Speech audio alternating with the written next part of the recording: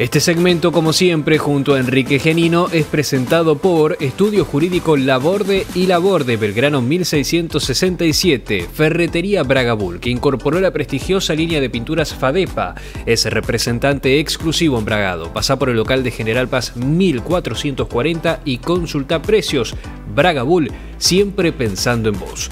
Discipio Box, boxeo infantil y para adolescentes, clases recreativas en categorías masculina y femenina, amplia disponibilidad de turnos. Discipio Box, Jaime Col y acceso Juan Domingo Perón.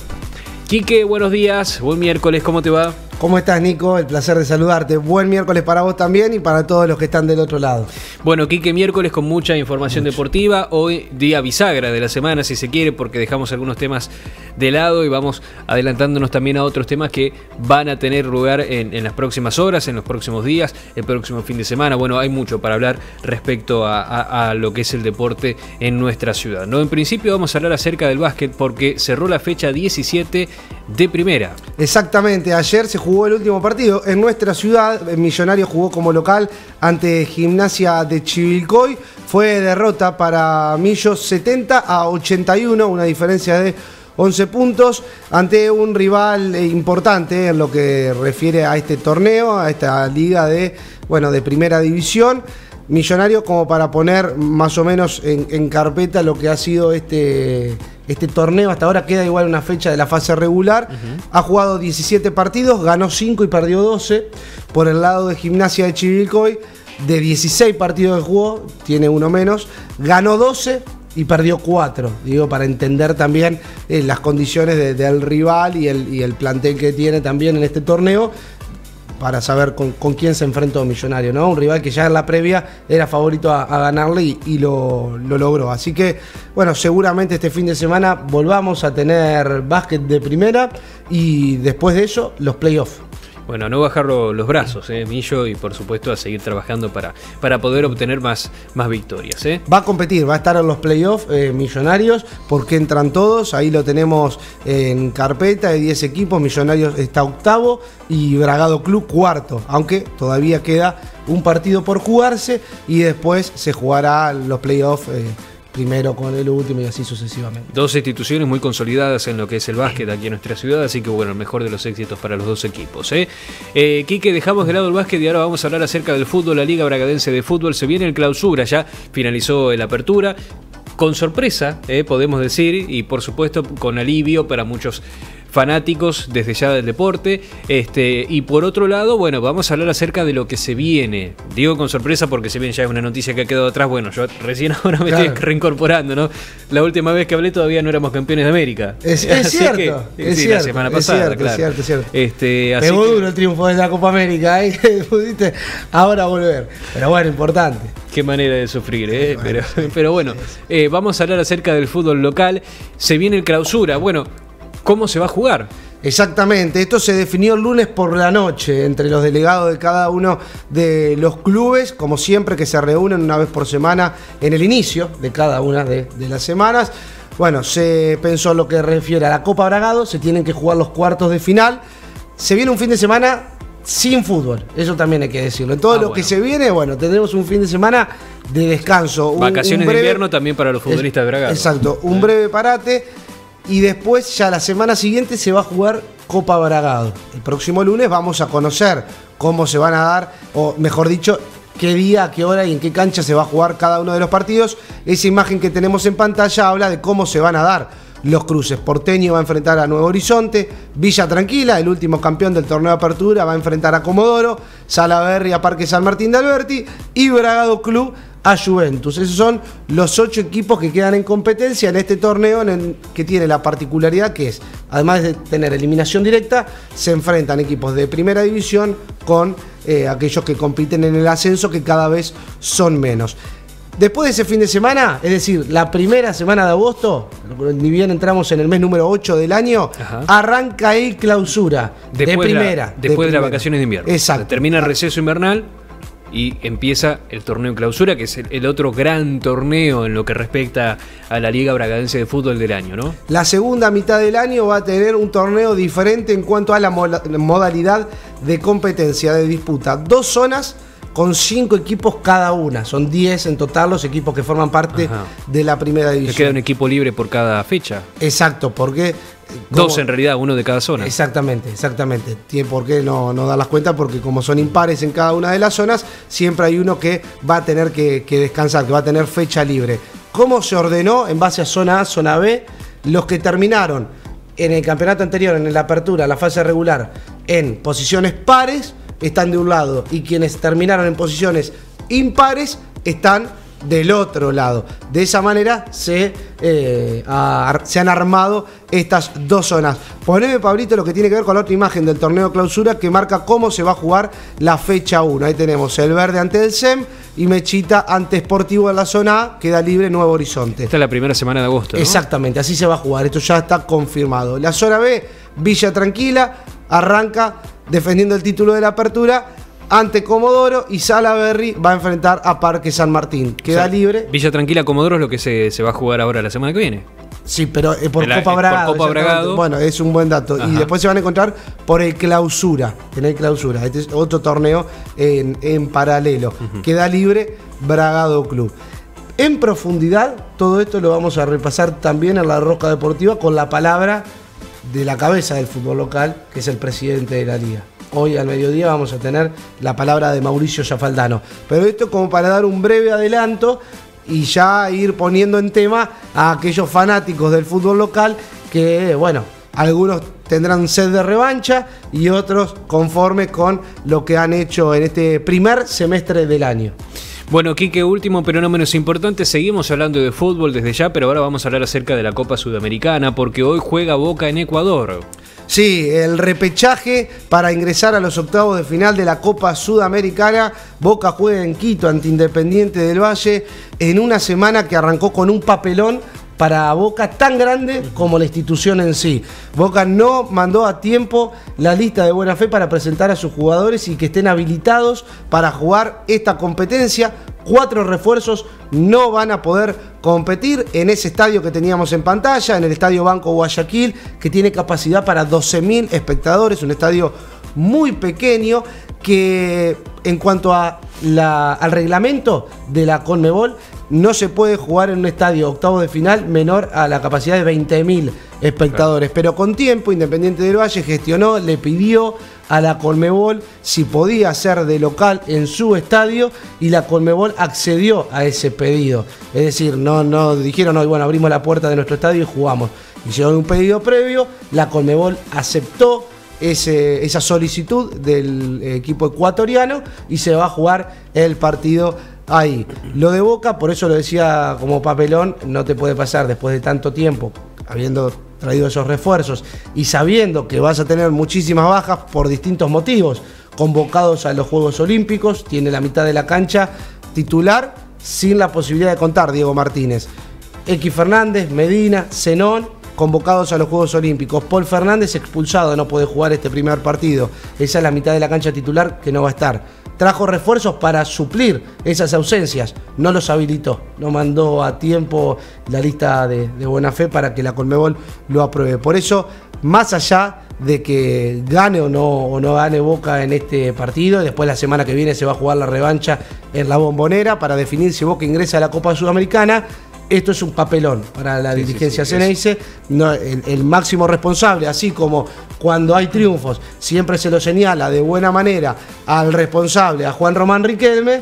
En un papelón de este calibre, el máximo responsable, por más que trate de justificarlo, Riquelme que ayer habló dijo, hubo un problemita de tiempos.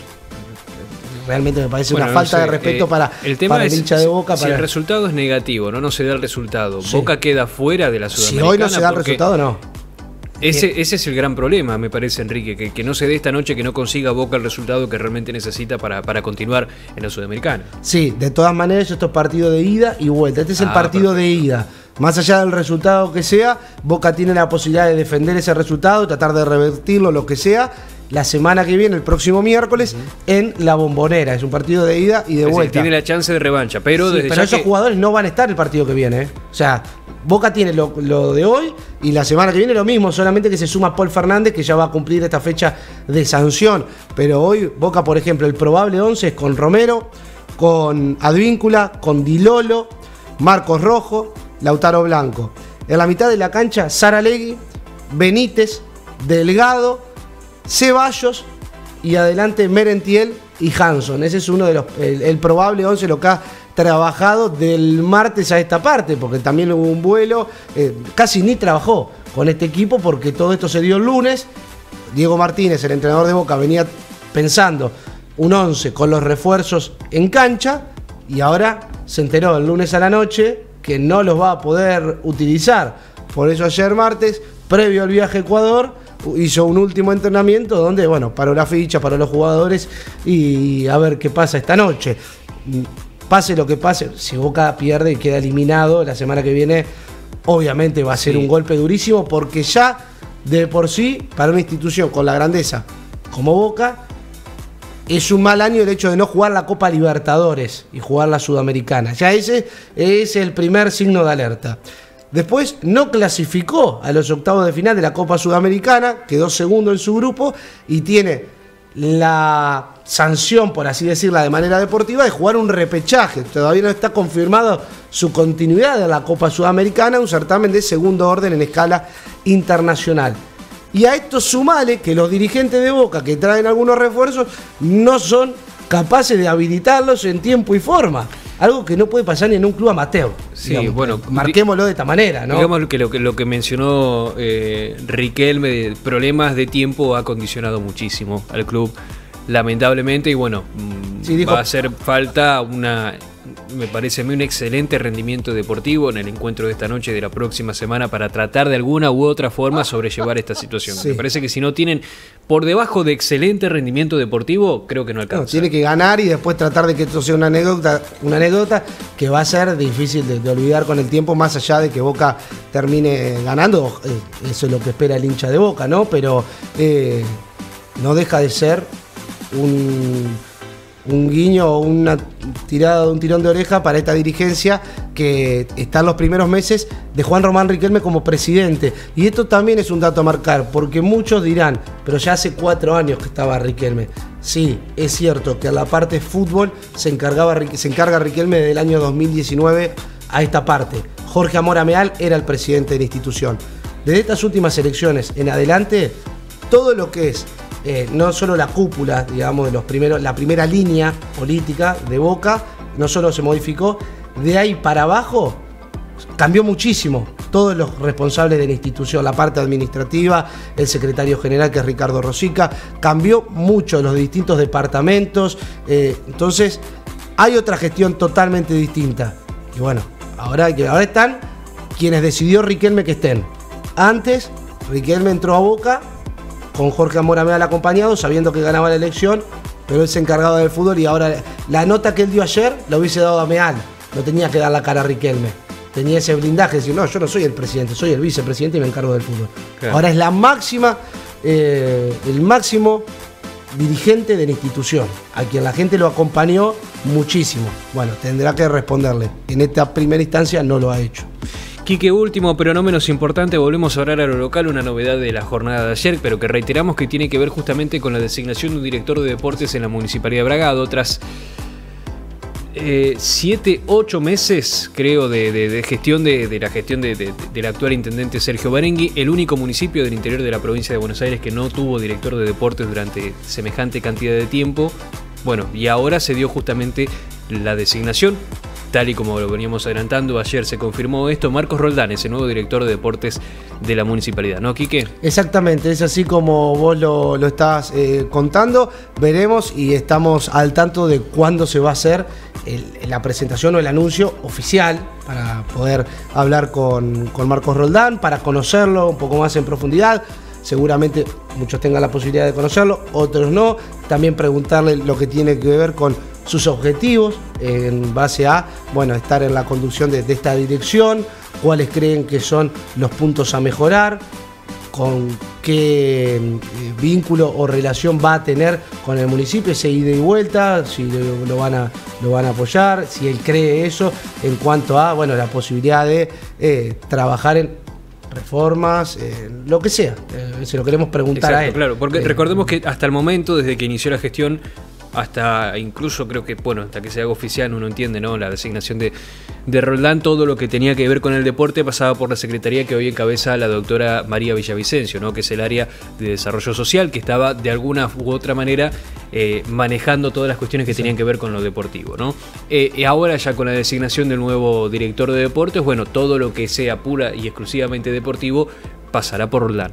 Obviamente que hay que ver ahora de qué forma se van adecuando en este traspaso, si se quiere, de responsabilidades, ¿no? Eh, también una forma de, ramificar un poco las responsabilidades y desde ya de, organizarse un poquito mejor, ¿no? Como, Sí, se, habían barajado varios nombres en la previa a esta designación de, Marcos Roldán, sobre todo en los primeros meses de gestión, en donde se iban asignando a, bueno, a los distintos responsables de, las áreas del municipio y Marcos Roldán creo que no, no había sido nombrado en esa previa como aquellos potenciales eh, protagonistas o nombres a ser eh, los, los directores, en este caso, de la Dirección de Deportes. Pero bueno, vamos a conocerlo, seguramente ahora tendremos un, un vínculo mucho más estrecho para charlar permanentemente de todo lo que tiene que ver con las actividades deportivas en nuestra ciudad. Bueno, Kike, un adelanto de lo que vas a compartir con nosotros en un ratito nada más a las 12 del mediodía en la Rosca Deportiva. Bueno, como lo anticipábamos, vamos a estar charlando con Mauricio Yafaldano en una nota que tuvimos la posibilidad de hacer eh, ayer en la Liga Bragadense de Fútbol. Nos acercamos a charlar con el presidente en la casa del fútbol local, en donde vamos a estar hablando de distintos puntos, no solo de la apertura, un balance del primer semestre del año. Vamos a estar hablando de un flagelo que es muy difícil de erradicar, que es el fútbol, eh, la violencia en el fútbol. Sobre todo también pensando en el fútbol infantil. El, fin de semana anterior se etapas formativas. Exactamente, con todo lo que eso implica y la responsabilidad de esa palabra. Sí, sí. En el último fin de semana se jugaron las finales del fútbol infantil. Hubo dos hechos de incidentes en donde la policía tuvo que intervenir. Lo peor que tiene el fútbol infantil son las personas que se acercan a ver el fútbol. Y muchas veces son los familiares. Los mayores. los chicos. Es increíble, pero es increíble. Que no son protagonistas del deporte. No, no, pero terminan siendo protagonistas del desastre. Y no solo pasa esto en nuestra ciudad, esto es un problema que se extiende en, todo el país como mínimo. Y bueno, estuvimos tocando ese tema y cuáles son las herramientas que tiene la liga para tratar de resolver eh, este tipo de problemáticas. Por supuesto, tendrán sanciones. Bueno, todo eso nos lo va a contar eh, en este mediodía. Que uno entiende también es un poco la contrapartida de lograr uno de los objetivos que se había planteado desde la Liga Paranaense desde hace un par de años después del proceso de pandemia, ¿no? que fue devolver a traer a los fanáticos del fútbol a las canchas, a que vean fútbol local. Bueno, eso en gran medida se ha logrado. Las canchas se han visto mucho más llenas después de lo que ha sido el proceso de pandemia para disfrutar partidos de primera, para disfrutar partidos de ascenso, también en etapas formativas, pero evidentemente mayor cantidad de público conlleva a mayor posibilidad de que se generen tal vez este tipo de conflictos que exceden lo deportivo, pero que evidentemente lo, manchan, ¿no? Sí, sí, pero yo creo que lo, lo más serio y delicado en cuanto a lo infantil es que quienes terminan eh, agrediendo, insultando, poniendo nervioso muchas veces a, los nenes que están jugando, que se están divirtiendo, estamos hablando de chicos entre los 5 y los 12, 13 años, o sea, chicos muy jovencitos que lo único que hacen es hacer un deporte de manera lúdica, divertirse, hacer camaradería, unión de grupo, eh, formarse. Y los clubes, ojo, trabajan muchísimo en pos de eso. Yo no digo que los clubes sean responsables de lo que pasa del alambrado para afuera. Es más, muchos tienen un cartel con un manual de conducta que tienen que leerlo los padres y no los nenes para tratar de comportarse en este evento. Por supuesto, no son la mayoría, pero siempre hay eh, tutores, vamos a decirlo de esta manera, o, o personas mayores que dan la nota. Y ese nene que después se va del club va a la casa en donde se termina criando con esa persona que está gritando, insultando, metiéndose a, agredir a un árbitro, por ejemplo. bueno, es un tema muy delicado y muy serio, difícil de, tratar y de resolver, por eso es un, es un gran flagelo. Ese es uno de los temas que vamos a tocar en la entrevista. Otro tema de designación arbitral. ¿Cómo es ah. la, la convivencia, la unión entre la liga y los, eh, las autoridades arbitrales. ¿Cómo se designa a las ternas que van a estar eh, siendo los responsables a la conducción de un partido u otro? Eso nos lo va a contar el presidente de la liga. Y después, algo de lo que veníamos mencionando que pasamos por acá, la Copa Bragado, la quinta, el torneo de primera división de clausura y el ascenso, que acá no lo mencionamos, cómo se va a jugar. Este ascenso y clausura tendrá tres equipos hay una baja, tres equipos a los cuatro que ya habían estado compitiendo, así que... Ya era chico y ahora queda más reducido todavía. Nos va a estar contando todo eso Mauricio Yafandano este mediodía, cómo se va a estar jugando la segunda categoría del fútbol local. Gracias Quique por toda la info, nos encontramos en un ratito y mañana en vivo, Dios mediante, aquí en el Mega Deportivo. Así va a ser, abrazo grande. Presentó el segmento deportivo de la mañana Estudio Jurídico Laborde y Laborde Belgrano 1667. Ferretería Braga Bull, que incorporó la prestigiosa línea de pinturas Fadepa, es el representante exclusivo en Bragado. Pasa por el local de General Paz 1440 y consulta precios. Braga Bull, siempre pensando en vos. Discipio Box, boxeo infantil y para adolescentes. Clases recreativas en categorías masculina y femenina. Amplia disponibilidad de turnos. Discipio Box, Jaime Col y acceso Juan Domingo Perón.